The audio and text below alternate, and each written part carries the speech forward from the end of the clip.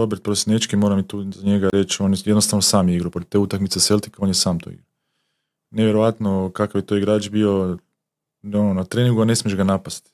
Jer jednostavno, nije bio brz, ali je bio nevjerojatno jak u duelima i uvijek ima taj feeling za nogome. Znači, taman kada ti napadneš, on se izmakne i stalno ti bježi. Misliš, imam ga sporije, ne može, ma kako, ne može, ne Nevjerojatno, a loptu je pucao ovoga, drugčije od svih nas. Znači ima nešto drugčije. Jedno, vidiš odmah da je to nešto, to je jedan nivo malo drugčiji.